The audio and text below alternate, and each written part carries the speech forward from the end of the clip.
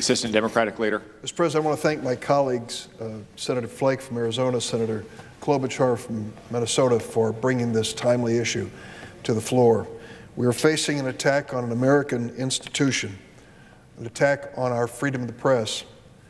Sadly, the President is making some award of some kind to uh, what he considers to be corrupt media. And I'm afraid, once again, that his actions will cast a shadow over our constitutional commitment to the basic freedoms we enjoy in America. We all know why freedom of press was included in the Bill of Rights, because the Founding Fathers, those who crafted those critical words that have led us for more than two centuries, believed that there should be accountability. Accountability when it came to the government, its actions, and to public officials. That accountability sometimes is painful, as Senator Flake has acknowledged. Uh, many of us, as members of the uh, Senate, House, and other political roles, uh, really hated to receive certain phone calls and questions from members of the press. But it is part of our responsibility as public servants, as public officials, to be accountable to the public. That is what freedom of the press is about. I think that's the part that troubles and worries and pains the president the most, that he will be held accountable for the things that he has said and the things that he has done. This notion of fake news, unfortunately, is a phrase which is being used, as Senator Flake noted, by despots and authoritarians around the world to try to silence its critics and to silence the press in their countries. We cannot allow this regimen of fake news and alternative facts and words like those to diminish our commitment to the basic constitutional protection of freedom of the press. It is essential to the future of our democracy. On January the 11th, that would be last Thursday, I was invited to a meeting at the White House to discuss the issue of immigration. Sadly, at that meeting, there were things said by the President and those who were with him on the issue, which I believe constituted an attack on another basic element of American history a history of immigration. Mr. President, we are a nation of immigrants. That diversity that has come to these shores from all across the world is a diversity which makes us strong. We consider our land of origin, whatever it may be, but we love the land we live in. And that was what immigration has meant to us and to previous generations for so many years. Words spoken by the president at that meeting were stunning and in some respects disgusting. To think that the president would make the comments he did. For the sake of our congressional record, for the Senate, and for those who are watching, I will not repeat the president's words. They have been reported in the press. But I want to go to the heart of his criticism. He was raising a basic question as to whether the United States should continue to be open to immigration from all around the world. I believe we should. Americans believe we should. We know that men and women, even of humble circumstances, who come to the United States determined to make a life, to make a future, and to help their families have made a profound difference in our country in terms of its past and its future. And they come from every corner of the world. Senator Lindsey Graham was at that same meeting on January the 11th. He spoke up when the president uttered these infamous words which have been reported. And he noted that when it came to his family, they came from one of the countries which the president described, and they came with little or nothing to offer, but they wanted to be part of America. They came here and made a business, made a life, made a future, and brought to the Senate an extraordinary member representing the state of South Carolina. Many of us can tell the same story. My mother was an immigrant to this country. She was brought here in 1911 at the age of two from Lithuania. Lithuania was not exactly a prosperous nation in those times. It was under the thumb of the Russian Tsar, and it's one of the reasons my family left. One thing that my grandmother carried with her on that trip, I still have today. It was a Roman Catholic prayer book written in the Lithuanian language, which had been banned by the Russian government. She secreted this away in her luggage and brought it to the United States because she knew, and we know, that there's freedom of religion in this country. And no government was going to stop her from saying her prayers in her own language. That's my story. That's my family's story. That's America's story. What the president said in the White House last week did not recognize that fundamental truth that people just like my mother and my grandmother, and just like Lindsey Graham's parents, came to this country not because they were engineers, PhDs, wealthy people. They came here with the desire to build a life and to build a nation, and they have done it. When we hear all this talk about merit immigration, let's have merit selection of the people who are coming to these shores. Of course, there are certain experts we bring in with certain visas to fill needs in business and research. But by and large, we bring to this country people who are desperate to be part of our future. And we also bring people who want to be part of their family. You hear this phrase, linked migration, that somehow or another, if we bring one immigrant in, they're going to bring in a hundred, and some of them may not be desirable. What we find overwhelmingly is just the opposite is true. It's family unification. It's building the strength of a family. And isn't that fundamental to who we are as Americans? I know in my family and in many others, relatives who came in from other places really strengthened our family unit, gave us a chance to help one another and a chance to succeed. Now we face a critical moment, a critical moment on the issue of immigration. I listened to the Republican Senate leader come to the floor today, Senator McConnell, and when he speaks of DACA and the Dreamers, he uses the words illegal immigration. Technically, I suppose it is illegal. They are undocumented that we're talking about. But we have drawn a distinction over the years as to what happened to these young people and why they should be seen differently. They were brought here to the United States as infants and toddlers and children, at best teenagers who had no voice in whether they were coming to this country.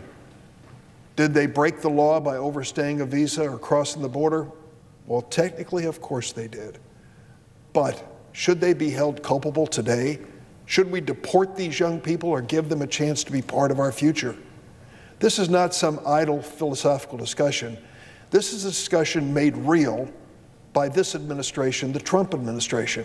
It was September the 5th of last year when this president announced that he was going to repeal DACA, the program started by President Obama to protect these young people living in the United States. 780,000 of them have enrolled. And President Trump said as of March 5th of 2018, that program is ended. And then he turned and challenged the United States Congress, pass a law. If you don't like what I've done with this executive order, pass a law. So here we are over four months later. And the question has to be asked of the Republican leaders in the House and the Senate what have you done to answer that president's challenge? And the answer, quite honestly, is precious little, if anything. The Republican leader comes to the floor today and says, There's no hurry. We can get to this later. It won't expire until March 5th. What he ignores is the obvious 15,000 protected young people lost that protection during this period since September 5th. 122 a day are losing that protection. Fortunately, last week a California court stepped in and said, stop taking away the protection of DACA from these young people. So we have a temporary stay being challenged by the Trump administration, which protects these young people for now. But that protection could end in a court decision tomorrow. That's the reality of life for young people. Yesterday in the Senate Judiciary Committee, we asked the Secretary of the Department of Homeland Security, do you believe the President can extend his March 5th deadline for the end of DACA? She said no. The President has said he doesn't have that authority. Well, I'll trust her statement and her judgment on that, but it further should put to rest this argument that's made by Senator McConnell that we have all the time in the world to deal with this issue. And let me tell you, as of March 5th, the deadline imposed by the president as of March 5th, horrible things will happen to innocent people. A thousand young people a day protected by DACA will lose their protection. I had one of them at the hearing yesterday. She is a young woman who has used her extraordinary skills to apply to medical school. And Loyola University, Stritch College of Medicine, accepted DACA protected young people for the first time. There are 28 of them in their ranks. She wants to be a doctor. She's helped people in underserved areas throughout her young career. But we know, everyone knows, that becoming a doctor means serving a residency, working those long hours to learn what it means to face clients or patients in a clinical setting. To become a resident, you need to be employed to take that job. If this young woman, who has devoted so many years of her life to her dream of being a doctor, loses the protection of DACA, she cannot apply for a residency. She's finished. There'll be no further progress in her medical education. That will happen starting on March 5th to a thousand young people a day. So I would say to Senator McConnell, the Republican leader, there is a sense of urgency. We can't put this off. And the good news is that six United States senators, three of us on the Democratic side, three on the Republican side, have been doing what no other committee has done, no other senators have done. We've put together a bipartisan compromise that moves us forward on this DACA issue. It's something that uh, took four months, and they weren't an easy four months, they were difficult. We had to debate some of the hardest issues and come to an agreement. I ended up giving ground on some things which I wish I didn't have to. And I'm sure those on the Republican side feel the same way. But that's why we were sent here, weren't we? Democrats and Republicans to find a solution to the problems that face us. And this is a very real problem. So now the Republican leader comes to the floor and says, We don't have time to discuss this. We've got to get out of here uh, at the end of the week. Well, I disagree with him. We have enough time to do it. Take a look at this empty Senate floor and tell me we don't have enough time to take care of the DACA issue. Tell me that we don't have an opportunity to come to this floor and to bring the senators here and do what we were elected to do to debate this issue, to vote on this issue, to solve a problem in America. This empty chamber is testimony to the fact that the Senate has done precious little for the last year and plans to do just about the same during the course of this year. I'm proud to be a member of the Senate, but I will tell you, I was prouder in the day when we actually debated measures on the floor. We ended up passing legislation to deal with America's challenges and problems instead of what we face today an exchange of speeches in an empty chamber. So we have work to do. This morning I went over to the Department of Defense and met with Secretary Mattis. I respect him. He's our Secretary of Defense, was a four-star general in the Marine Corps. The man has served his, his country with distinction. And he talked about what's going to happen to the budget of the Department of Defense if Congress doesn't act. And we told him we want to get this job done. But we also said to Secretary Mattis, there are other elements of this government, there are other issues before us that need to also be brought forward. You heard Senator Schumer from New York, the Democratic Senate leader, come to the floor and turn to Senator McConnell and say, why is it always a take it or leave it when it comes to these measures? Why aren't we sitting down on a bipartisan basis to come up with a good way to move forward? Do you know, Mr. President, it's been 119 days into this fiscal year and we still don't have a budget for the United States of America? That's not just embarrassing, it's scandalous. To think that we have over a trillion dollars that needs to be debated and spent and we haven't been able to do it, and we're one third through this fiscal year. The net result of that, of course, is to waste precious taxpayers' dollars and the energy of our elected officials who want to be applying that energy to solving problems rather than the problems that Congress creates. We can do this, and we can do it on a bipartisan basis. Senator Lindsey Graham and I, along with four of our colleagues, have a measure that we are going to present to the United States Senate. The purpose of that measure is to make it clear we are ready to debate. We are ready to move forward. We are ready to solve this problem that faces hundreds of thousands of young people across the United States of America. Some can call it illegal immigration, as Senator McConnell has. Others have called it amnesty, whatever they wish to call it. 80% of Americans believe we can solve this problem. As you walk around the Capitol here and the Capitol buildings, you will see young people who may step forward to introduce themselves. Many of them have never been to Washington before. I met one yesterday who had driven for 35 hours to come here. Why was she standing in the corridors of the Dirksen building here on Capitol Hill? She's a dreamer. She's protected by DACA. Her whole life is hanging in the balance as to whether this Congress will actually do something to solve a problem.